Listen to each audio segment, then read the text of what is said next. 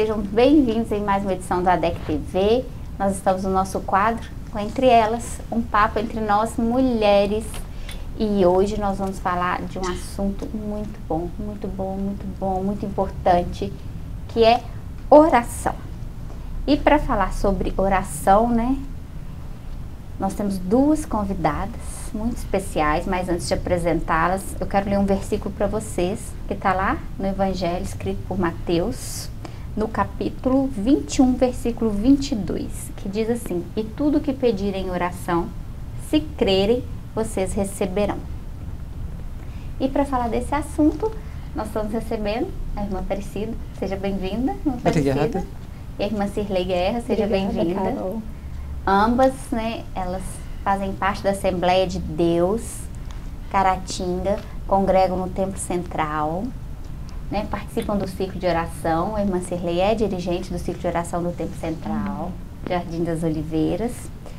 E antes da gente começar as perguntas, quero falar um pouquinho com vocês a respeito de oração da seguinte maneira. Nós mulheres, agora vamos voltar para as mulheres. Né, nesse tempo que nós estamos vivendo, um tempo ele é hostil, de muita correria, né? E diante disso tudo, desse cenário, pede, né? No momento atual, pede mulheres que não são mulheres, mas como aqui esse quadro é voltado para mulheres, Sim. pede mulheres, né, irmã Cirlei? Que meditem, que leem, que estudem a palavra de Deus e que orem. Verdade. E, né? E como encontrar esse tempo para fazer? Para ler a palavra, meditar na palavra, estudar a palavra e orar. Muitas, ah, né, muitas mulheres acreditam que tudo pode ser mudado pela oração e que nenhuma lágrima cai no chão antes de passar pelo trono da graça. Vocês acreditam nisso também? De todo o meu coração, Carol. É, sem a oração é impossível mesmo. Então, a oração pode muito em seus efeitos. Pode muito. É, a oração pode, de, pode de um tudo. Justo, é né? tudo. Pode muito. E para a gente começar, né, porque se a gente ficar falando de oração, a gente pode falar que dias incansáveis, né? Irmã Cilei, irmã Aparecida, existe uma forma correta de falar com Deus? Porque oração é falar com Deus. Existe uma forma correta de falar com Deus? Eu quero ouvir de vocês duas. Se a gente ler a palavra Mateus, em Mateus, no capítulo 5, do, até o capítulo 5 ao capítulo 7, é, tem tudo para nós. Todos os ensinamentos que nós necessitamos obter. E é ali que é um dos principais, que Jesus ensinou acerca da oração e como orar também, né? Ele chegou a ensinar para a gente a oração em, ali em Mateus 6, no versículo 9, entrar para o quarto, fechar a porta, orar em secreto, porque o Pai que vem em secreto também ele nos responderá, né? Então esse é um grande ensinamento. Mas, como você falou sobre os tempos atuais, principalmente para mulheres que trabalham, né? É, eu já não vejo mais assim tempo para orar, mas sim momentos para orar. Aí já pode ser como a Bíblia ensina, orar sem cessar. Aí já você já vai estar orando naquele momento de acordo com a sua necessidade. E antes né, da irmã Cirlei falar, pessoal, quando a irmã Aparecida falou Mateus capítulo 5, 6 e 7, ela está se referindo ao Sermão do Monte. Isso. Que é maravilhoso, né? Verdade. Quando Jesus ensina a orar, ah, né? Ensina a orar. Essa forma correta para falar com Deus, a gente encontra ela na Bíblia, né, Carol? Como a irmã Aparecida já citou aqui, né? Mateus. E tem sim, quando a gente fala assim, existe a forma certa? Sim, existe, né? E a palavra de Deus nos traz essa receita.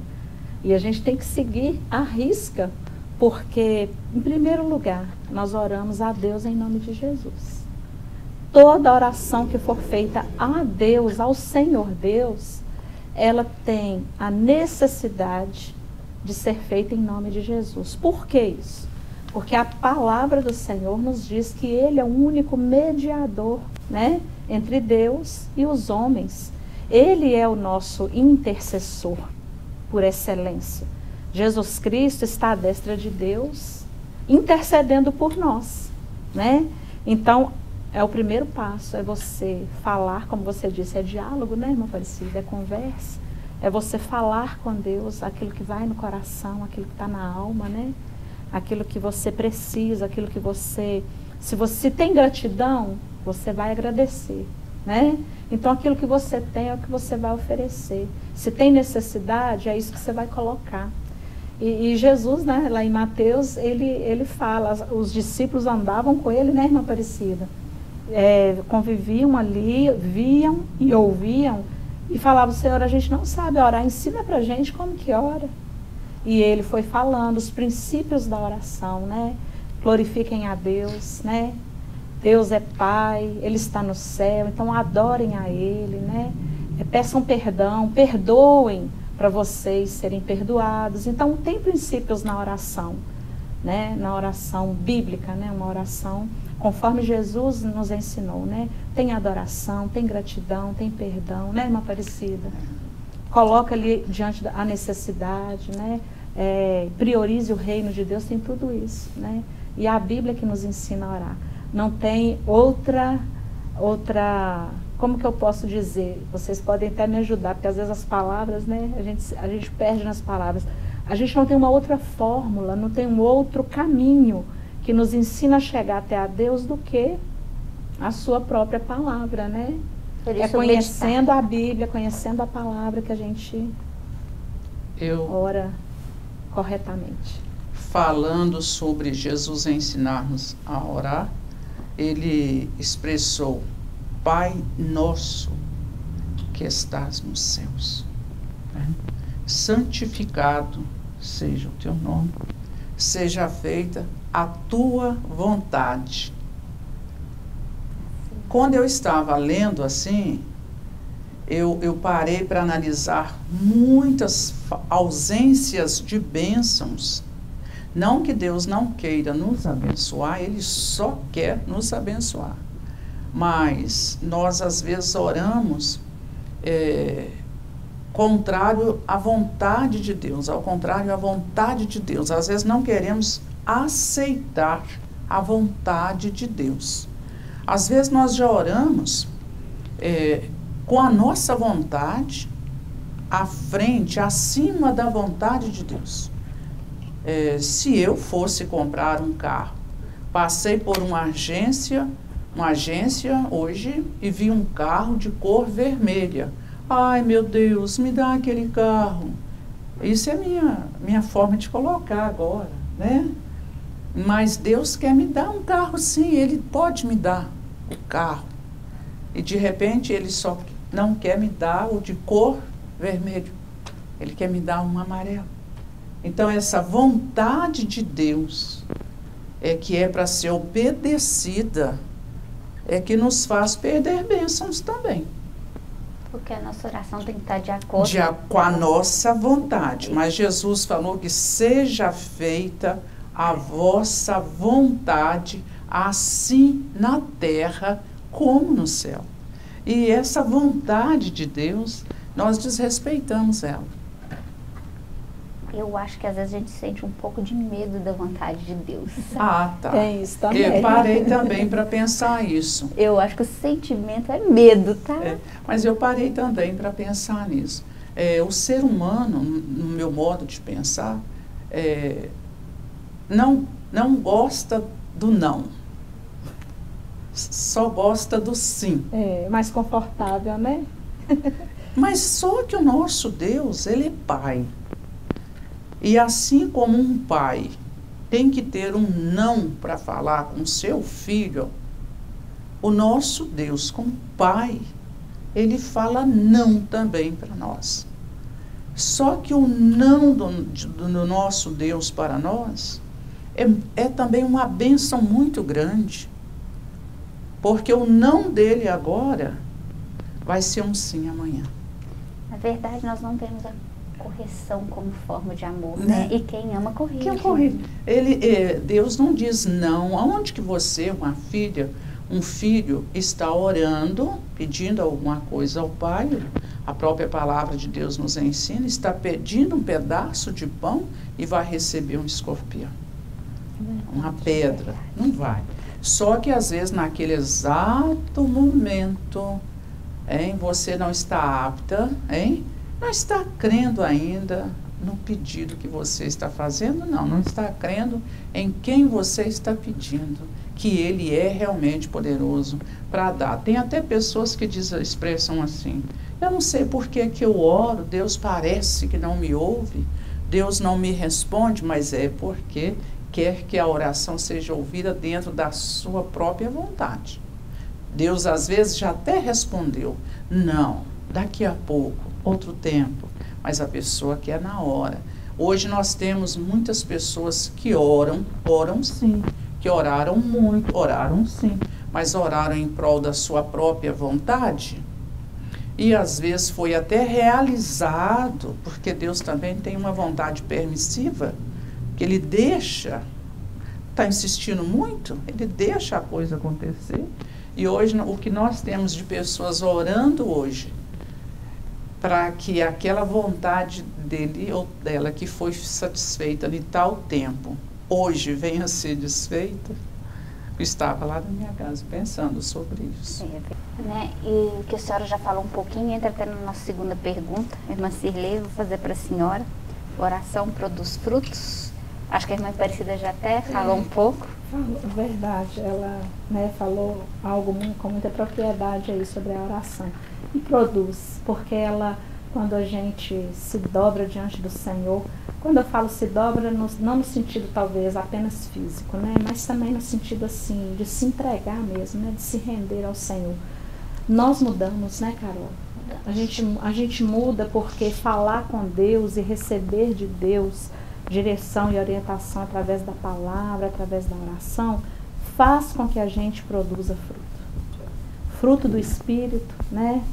É, é, ele é assim fundamental para a nossa vida como seguidoras de Jesus, né? como servas do Senhor, como pessoas que professam o nome dele. Então, a gente fica mais parecido com ele. Quando a gente ora, busca o Senhor, os frutos vão vindo.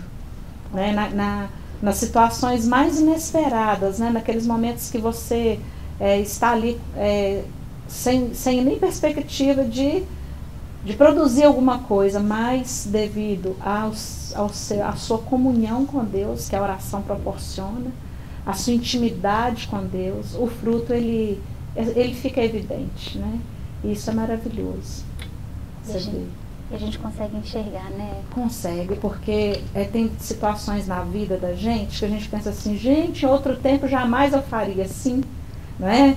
Em outro tempo eu jamais agiria dessa forma, falaria desse jeito. Aí você começa a observar que a palavra do Senhor, que é viva, ela entrou no seu coração e, ali você, e aí você né, teve ali aquela direção do Espírito Santo para falar com o Senhor, pra, pra, porque sem comunicar, porque oração não é a comunicação, diálogo, não tem comunhão, né? Então, então o relacionamento se estreita. E aí o fruto vem, o fruto vem, né? Vem a temperança, vem a longanimidade, a bondade, o amor, a alegria, a paz, paciência. Não é? Então o fruto vem e aí a gente fala assim, gente, como que Deus me mudou? A gente até tem essa expressão, né, irmã Aparecida? É. Como que Jesus mudou a minha vida? E mudou como mesmo.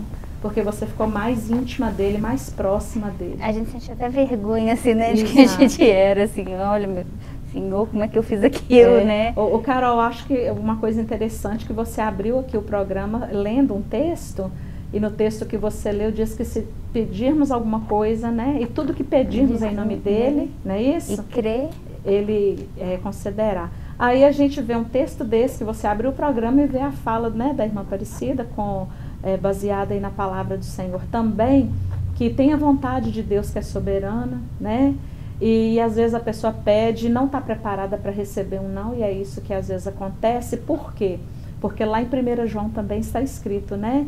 Que se pedirmos alguma coisa em nome dele, Né? Se aquilo estiver no centro da vontade de Deus, de conformidade com a sua palavra, com o seu propósito para a nossa vida, a gente recebe. Mas se não estiver de acordo com a vontade soberana de Deus, né? com o propósito dele, ele pode dizer o não a qualquer momento, justamente como ela disse, para o nosso próprio bem, né? Próprio Porque bem. ela disse que o, o, não de Deus, né, meu parecido, produz uma bênção muito, grande, também. Nós aqui é na hora não entendemos, mas o fruto vai vindo, vai, vai sendo vindo. evidente. E é verdade. E nós vamos para um breve intervalo. Daqui a pouco nós estamos de volta com essas duas mulheres abençoadas para continuarmos esse assunto sobre oração.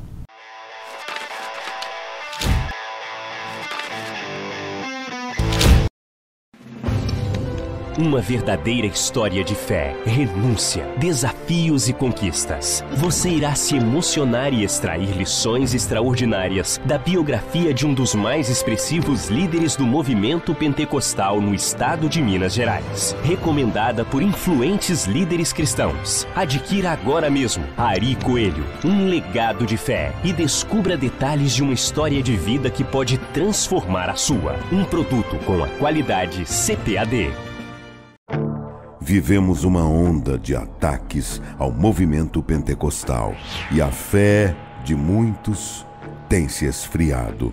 É chegada a hora de clamarmos por um avivamento para nosso tempo. Participe deste movimento. A promessa é para vós e vossos filhos uma campanha nacional pela busca do batismo com o Espírito Santo e dos dons espirituais. Nossos objetivos: até o dia 18 de junho, 110 mil crentes batizados com o Espírito Santo e 110 mil crentes batizados nas águas. Programa de leitura de toda a Bíblia até o final da campanha. No dia 18 de junho, uma grande vigília nacional de clamor. Manda, Senhor, um avivamento. E no dia 20 de junho, culto de celebração dos 110 anos das Assembleias de Deus no Brasil. Envolva-se neste mover de Deus. A promessa é para vós e vossos filhos. Uma realização CGADB e CPAD.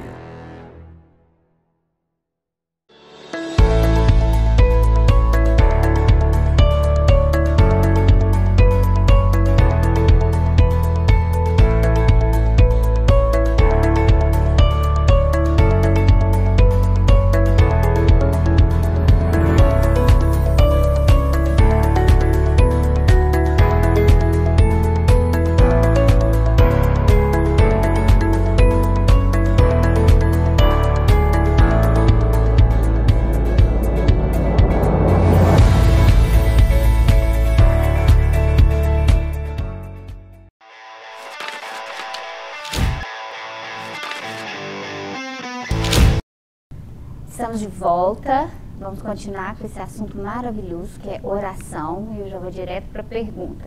Irmã Aparecida, depois a irmã Cirrei. Oração é um monólogo? É uma via de uma única só? Não, porque monólogo é uma expressão minha comigo mesmo.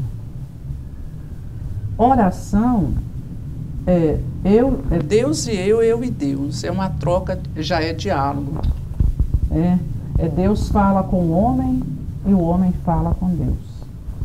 É, eu havia até pego que por muitos, muitos versículos na Bíblia, nós encontramos é, esse diálogo. Agora já o diálogo, não o monólogo, o diálogo. É, Manoá, lá em Juízes capítulo 13. Eu achei muito lindo que Manoá, no versículo 8 do capítulo 13, ele estava falando, Manoá foi o pai de Sansão. Ele orou a Deus. Porque quando ele foi advertido que ele ia ser pai, né, o pai de Sansão, ele não, não deu muito, né, não, ele, parece que ele não estava assim, tão presente. Então ele orou no, no versículo 8 e no versículo 9, Deus já responde para ele. Então, é, deixa de ser um monólogo para ser é, um diálogo, a oração. E Deus falou muito com Abraão. Abraão falou muito com Deus. Deus falou muito com Moisés. Moisés falou muito com Deus. Então, a oração não é um monólogo. Graças a Deus, né, Carol, que nunca foi um monólogo. Por quê? É, é uma interação entre nós e Deus, né? É, e eu, eu, fico assim pensando, Carol, irmã Aparecida, é, pessoas que às vezes chegam para a gente, ou às vezes até a gente já falou isso também, é, o quanto é ruim falar sozinha, né? Se a pessoa não dá ouvido, ou finge que não escutou, sai andando é desconfortável, é, é, assim, chega a ser frustrante, não é verdade? Não falei, falei e falei sozinha. Não obteve resposta. Não obtive. Não, é, não obtive assim nenhuma atenção, né, nenhum parecer. E graças a Deus, com Deus, isso não acontece. Porque a Bíblia diz que os ouvidos do Senhor não estão agravados. Né? Ou seja, não estão tampados, né? O Senhor não é surdo com a nossa oração, né? Pode ser que algumas coisas na nossa oração ele não responda ou até responda que não. Mas deixar de ouvir jamais e deixar de interagir conosco também não. E uma das coisas que eu sempre faço, Carol, que eu assim deixo aqui, né, é esse o meu, o que eu faço que de repente pode aí você que está nos assistindo, né, acompanhando aqui esse esse programa, pode ser bom para você também. Eu sempre gosto de orar com a Bíblia por perto. Porque a Bíblia é o Senhor falando conosco, é a palavra de Deus. Então, quando você vai expondo ali na sua oração algumas coisas para o Senhor, né, é, e você ali com a Bíblia, você vai lendo a palavra, e é tremendo como Deus fala conosco com a sua palavra. De repente, é uma palavra que está ali que você não prestou atenção, não veio no seu coração, de repente aquilo ali é diferente naquele momento de oração e você está ali com a palavra do Senhor em mãos. Eu gosto muito, eu acho que isso é muito válido. Você tem outro discernimento. Outro discernimento que você vai orando, lendo a Bíblia. Então, assim, é um relacionamento é, que você tem com Deus, né? É, é a oração. A oração é fundamental na vida de qualquer pessoa que ama a Deus. E já emendando a, a pergunta, né? Vou perguntar para as duas. Pode começar com a irmã Aparecida. Existe um lugar certo para orar? Carol, estive pensando também nisso, né? Se a gente deixar para o início de conversa, Jesus indicou, né? Esse lugar. Mas um dos primeiros lugares para nós hoje, e o próprio Senhor Jesus expressou, a minha casa é casa de oração. Então, um dos primeiros lugares que ele Jesus orava muito para aqueles montes, mas Jesus ia às sinagogas também orar. Eu estava meditando nisso. Deus entrando na casa de Deus. Não é lindo? Jesus entrando na sinagoga para falar com o Pai. Jesus, então, ele, ele orou muito e sempre nos deu esse a gente não tem hoje um lugar certo para orar. Não temos. A não ser vir na casa do Senhor para orar. Na, nos lares, é, hoje não tem, se não tem, porque Jesus mandou entrar para o seu quarto, fechar a sua porta. Mas se é um casal, às vezes o esposo quer dormir um pouco mais. Tem os filhos? Eles... Tem os filhos. Às vezes a esposa quer dormir um pouco mais. Então, hoje o seu quarto não é mais um lugar de oração. É, agora, poderíamos adquirir em nosso lar, um, como estamos aqui, né? Poderíamos sim colocar uma mesa, uma cadeira, uma Bíblia e dizer: Este é o meu lugar de oração. Né? Mas Existem muitos lugares que a gente ora sem perceber. Aí eu estava meditando. Jonas orou num lugar inusitado, né? num lugar que não era lugar de oração, no ventre de um peixe. Ele disse que ele gritou, que ele gritou, das mais profundezas, né? Um lugar é do inferno, ele expressou. A Bíblia ensina que ele expressou inferno, né? Que do inferno. E outro lugar que eu peguei, que não é lugar de oração, e que houve uma grande oração, foi no presídio, onde Paulo e Silas estavam na prisão. A Bíblia ensina que quase meia-noite, né? Eles, canta, eles oravam e cantavam hino ao Senhor. É lugar de orar? É? É. Foi onde encontrou necessidade. Foi aonde estava a sua necessidade, né? A gente pode até falar onde não é o lugar para Isso, se orar. Né? O lugar que, que a gente nunca é. deve orar é o lugar onde Deus não está. E onde Deus não está, não, em lugar está. nenhum. E como que estaria? É como que está escrito na Bíblia? Orar sem cessar.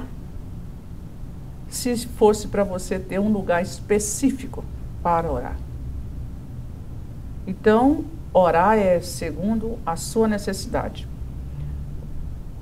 Eu estava hoje pela manhã em um determinado local, vou falar assim para né, não se expor, e uma pessoa epilep, que tem epilepsia, uma, fica indelicado quando é feminina, né?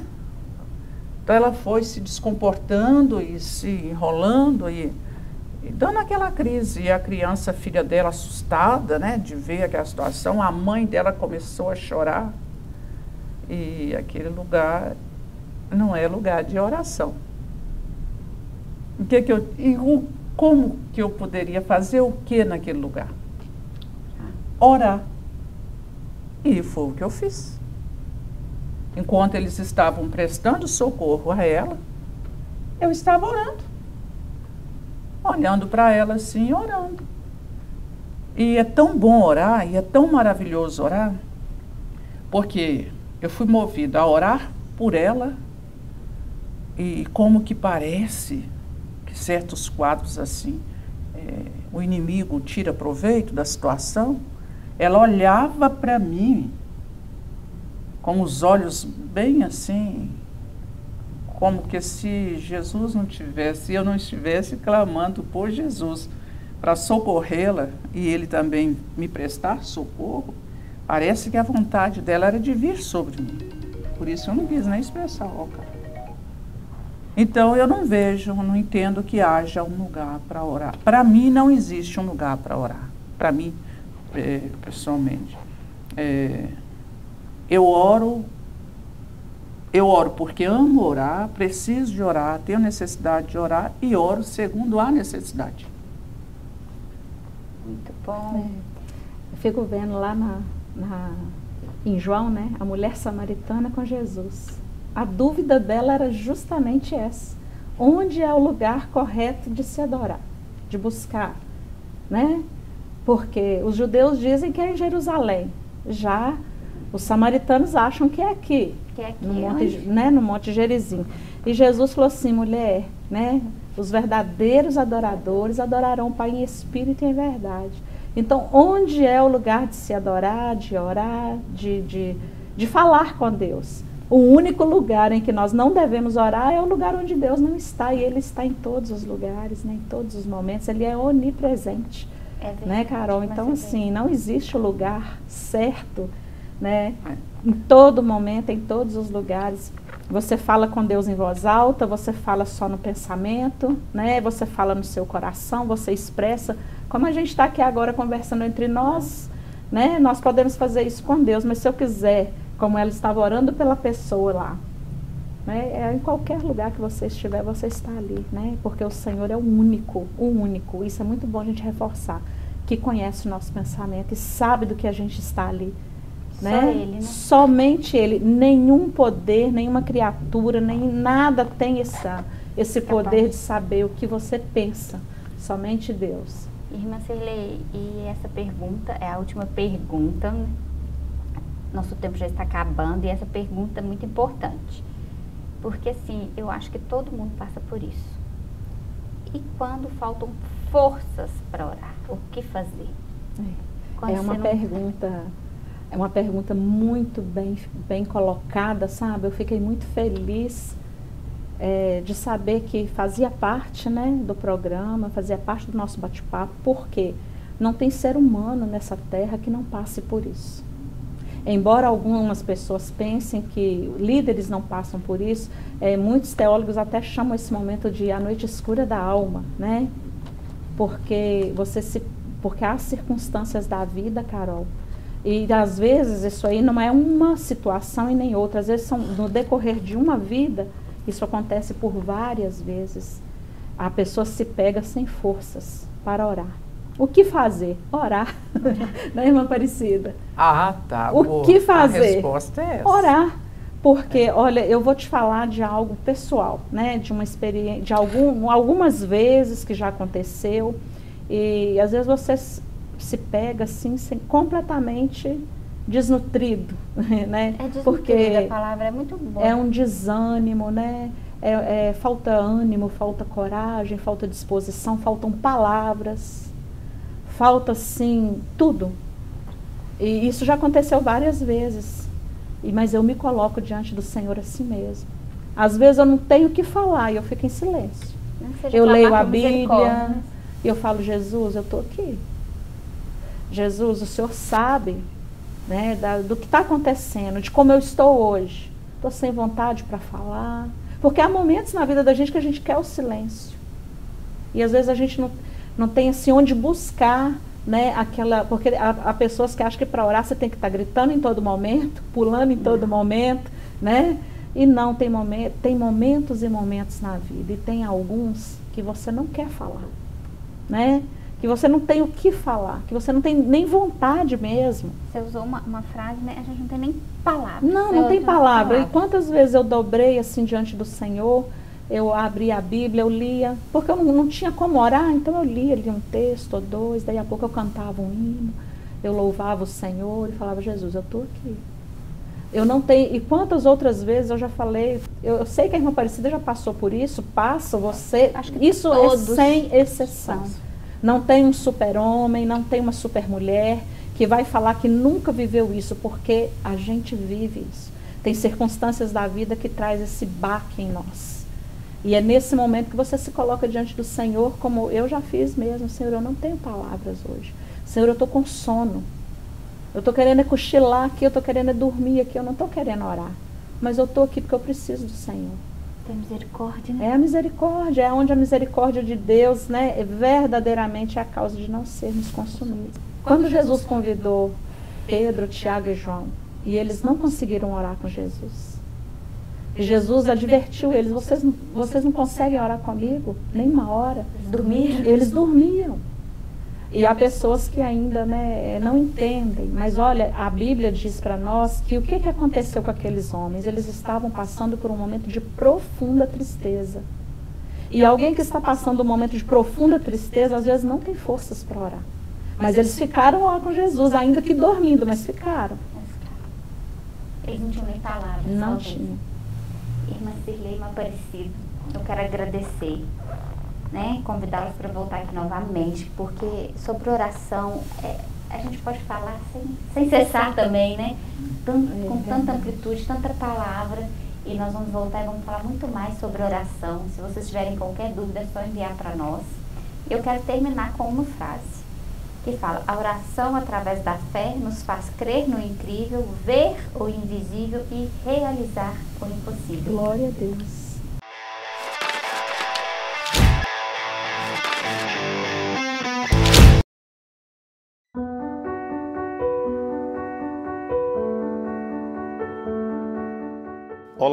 Paz do Senhor. Eu quero ler com você o que está escrito no livro do profeta Ezequiel, no capítulo 37, o verso 1. Olha o que diz a palavra de Deus. Veio sobre mim a mão do Senhor, e ele me fez sair no espírito do Senhor e me pôs no meio de um vale que estava cheio de ossos. Esse verso e esse capítulo 37 do livro do profeta Ezequiel fala de uma visão que Deus levou o profeta em espírito e o colocou no meio de um vale cheio de ossos secos. Na verdade, o que havia naquele vale era, ah, possivelmente, eram os exércitos tinham guerreado, muitas pessoas morreram na guerra, porque vale fala de um lugar de guerra, né? Principalmente antigamente era, era esse é, é, o costume das guerras, de travar as guerras no vale, e Deus levou Ezequiel em espírito. E o texto diz que o Senhor pôs Ezequiel no meio de um vale de ossos secos. O que eu quero falar com você é algo muito importante, porque todos nós, vez ou outra, o Senhor nos leva, permite que, que cheguemos, ou o Senhor nos coloca muitas vezes em vales. Muitas vezes o Senhor nos coloca no meio de um vale. Só que quando Deus permite ou nos leva, como ele fez com Ezequiel, e o colocou no meio de um vale, Deus sempre tem um propósito. Interessante é que para cumprir o seu propósito, sempre Deus vai levar alguém a passar por momentos de vale. Eu já te disse, vale fala de guerra, vale fala de um lugar de luta. Vale fala de um lugar de prova, de teste. Se você pensar direitinho, a Bíblia diz que Moisés viveu 40 anos no deserto antes de voltar e libertar o seu povo. José viveu na cova, passou na casa de Potifar, passou na prisão, foi preso, inocente. Mas depois Deus cumpriu o propósito e José se tornou governador do Egito o segundo homem mais poderoso do Egito. Você lembra da história de Davi? A Bíblia diz que Samuel vai à casa de Davi e unge Davi aproximadamente entre 14 e 16 anos. Mas Davi volta para o campo e depois de muitos anos, estudiosos vão dizer que por volta aí de 30 a 32 anos, né? Vamos colocar 15 anos depois, Davi vai assumir como rei. Então, o vale, na verdade, é o processo para algo muito maior que Deus quer nos colocar. Interessante que quando a gente olha para essa história de Ezequiel, nós precisamos entender. Não foi o diabo que colocou Ezequiel no vale. Não foi o mal que colocou Ezequiel no vale. Não foi o pecado que colocou Ezequiel no vale. Mas a Bíblia diz que o Senhor o levou para o vale. O que eu quero que você entenda é: vales nas nossas vidas é algo que, vez ou outra, Deus vai permitir, vai permitir cada um de nós a passar. Só que quando nós chegamos no vale, e talvez você está vivendo uma fase da sua vida, um momento da sua vida, um período da sua vida que você pode chamar de vale. Você está dizendo, pastor, eu estou vivendo guerra, eu estou vivendo luta, eu estou vivendo problemas, pastor, que eu nunca imaginei. É o vale da sua vida. Entenda, há um propósito de Deus escondido nesse vale. E eu preciso te dizer, e você não pode esquecer: o vale, primeiro, não é para te matar. Deus não levou Ezequiel no vale para matar Ezequiel, mas Deus levou Ezequiel no vale para treinar Ezequiel, para mostrar a Ezequiel o que ele iria fazer com a nação de Israel. Segundo, é no vale que Deus anda com você. Ezequiel estava no vale, mas a Bíblia diz, no verso número 2, diz assim: olha, e me fez passar em volta dos ossos ou deles. Ou seja, o profeta estava no vale, mas Deus estava com ele lá no vale. Aleluia! Ele não estava sozinho, Deus estava andando com ele no vale. A Bíblia diz que Deus caminhou com Ezequiel no vale, mostrando a ele, eles conversando, os dois. Então, primeiro, o vale não é para te matar. Segundo, no vale Deus anda com você. E eu quero aqui já encerrar, porque no vale, a Bíblia vai dizer, o texto vai dizer, é preciso profetizar. Você precisa profetizar nesse vale. Diz a palavra do Senhor que veio a voz do Senhor Ezequiel e disse para ele: Ezequiel, profetiza. Eu repito, vale é lugar de luta, lugar de problemas, lugar de dificuldades. Talvez você está vivendo o, o pior vale da sua vida nesse momento. Deus está dizendo para você: é preciso profetizar. Entenda, o vale não é para te matar. No vale, Deus está com você e você precisa profetizar. O que, que eu vou profetizar, pastor? E o que, que é profetizar? Profetizar é dizer, é com autoridade afirmar As suas palavras? Não, afirmar a palavra de Deus. Aleluia. Deus diz para Ezequiel: Ezequiel profetiza nesse vale. E a Bíblia diz que Ezequiel voltou-se para os ossos e diz: Ossos secos, ouvi a palavra do Senhor. E diz a Bíblia que quando Ezequiel profetiza, veio um vento, os ossos começaram a juntar, chegou nervos, chegou carne e formou um grande exército. E daqui a pouco o Espírito veio e levantou-se um grande exército vivo, poderoso, na visão que Deus deu a Ezequiel. Eu concluo te dizendo: não importa o vale que você está vivendo, não importa como você está vivendo, não esqueça, não é para te matar, você não vai morrer nesse vale. Guarde essa palavra: Deus não vai deixar você morrer nesse vale. Você vai passar por esse vale de mãos dadas com o Senhor. E abra sua boca agora. Comece a profetizar dentro da sua casa. Comece a profetizar contra esse problema. Comece a dizer: O Senhor está comigo, eu vou vencer. O Senhor é o meu pastor, nada vai me faltar. O Senhor dos exércitos está comigo, Deus de Jacó é o meu refúgio, a minha fortaleza. Abra sua Bíblia e comece a profetizar, e Deus vai te dar vitória, e você vai vencer esse vale. E eu tenho certeza que, como um exército poderoso, você vai sair muito mais forte, muito melhor, muito honrado pelo Senhor após essa grande luta, esse vale que você está enfrentando. Eu quero orar por você, eu quero abençoar a sua vida, eu quero profetizar sobre a sua vida, que esse tempo vai passar Talvez você está me ouvindo, me assistindo agora e dizendo, pastor, eu não estou vivendo o vale. Então se prepare, porque todos nós, em algum momento, nós vamos passar pelos vales da vida. Mas Deus está conosco para nos dar vitória, para nos fazer vencedores e para nos ajudar. Então, profetize nesse vale e eu tenho certeza que você será vitorioso. Feche os teus olhos aí onde você está e eu quero orar por você.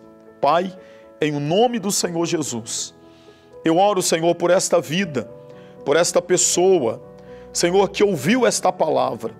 Ó oh, Senhor, eu não sei o vale que ela está enfrentando, eu não sei as guerras que ela está enfrentando, eu não sei os problemas que ela está enfrentando, mas eu sei, Senhor, que a tua palavra diz que o Senhor levou o profeta Ezequiel para o vale, mas o Senhor não permitiu que ele morresse naquele vale. O Senhor caminhou com ele no vale o Senhor o instruiu a profetizar, como acabei de instruir agora, Senhor, esta pessoa. Ó oh, meu Deus, dê a ela autoridade, dê a ela sabedoria, que ela possa abrir a boca, Senhor, e profetizar a tua palavra. E esse vale será uma faculdade de treinamento, será uma escola, Pai, para que ela possa sair do outro lado mais preparada e melhor, Senhor, para cumprir o teu propósito. Eu abençoo esta casa, eu abençoo esta família, eu abençoo esta vida.